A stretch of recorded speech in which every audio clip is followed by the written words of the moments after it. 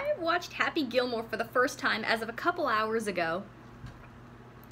And I knew some of the funniest lines going into it, but I didn't know what the context was.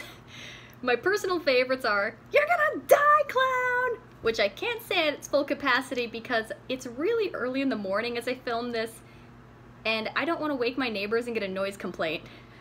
But that's been my favorite line. I also like when he's talking to Shooter McGavin. I eat pieces of shit like you for breakfast. You eat pieces of shit for breakfast? No. and of course the fight with Bob Barker. The price is wrong, bitch. I know it seems pointless to quote these famous lines, but it's really, really fun.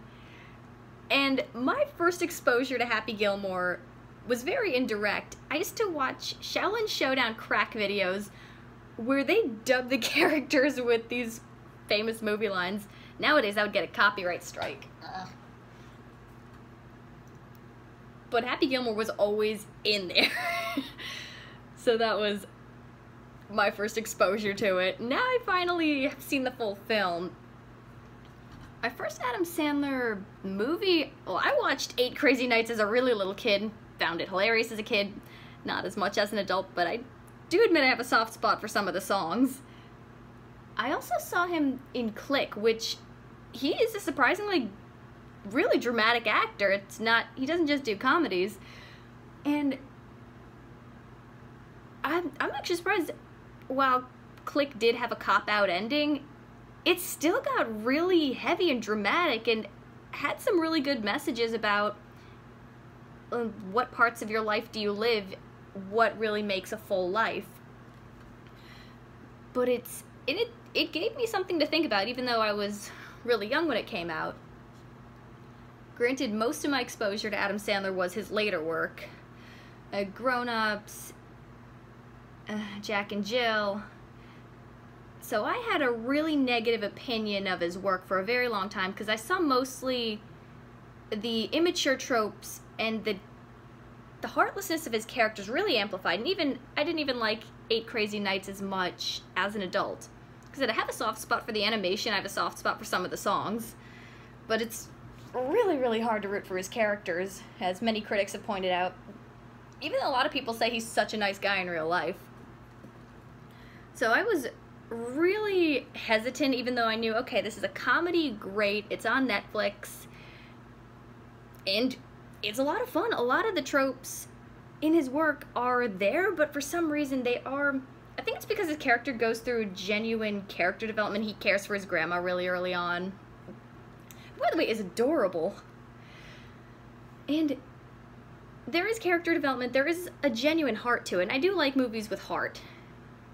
Or and I can kind of see why someone like Happy Gilmore would be a success because he he's got this he's brash he's angry he punches people but granted people love that stuff in entertainment so it makes sense that he draws a crowd. The movie genuinely is it's a it's a unique story it's got its own twist to it the one liners are great. And it's fun i like the characters uh, the shooter mcgavin's really really funny. I i like the grandma the love interest he and the love interest have a genuine chemistry even early on, which is actually really sweet.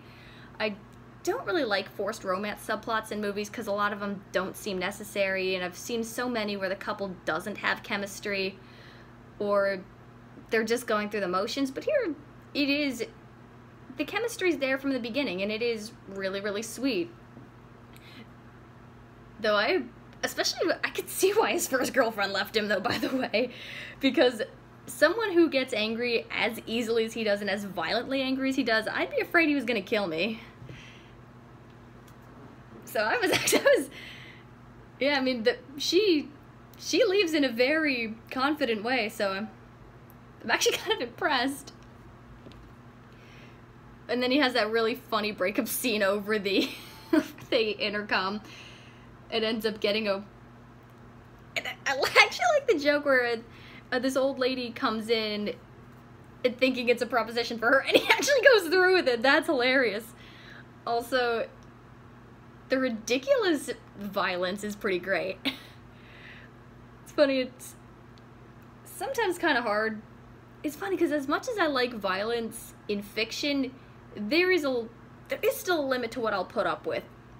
Especially if I see kids getting genuinely hurt. I mean, him. Uh, Happy Gilmore beating up the caddy, that was borderline for me. It was a little hard to watch that. But that's just an example of my personal limits when it comes to comedy. But Chubbs, but Chubbs' death was very funny with the alligator, and when he when he first discovers his good long swing and he hits the family with the with the golf ball, that was hilarious. So there was most of the jokes I thought landed really well. I'm I'm a big sucker for one-liners and it, it's it's likable. It's fun. I would probably just spend the rest of the time quoting the movie if I went on any longer. I thoroughly enjoyed myself. I see why it's considered as good as it is. And I thank Xiaolin Showdown for originally bringing it to me.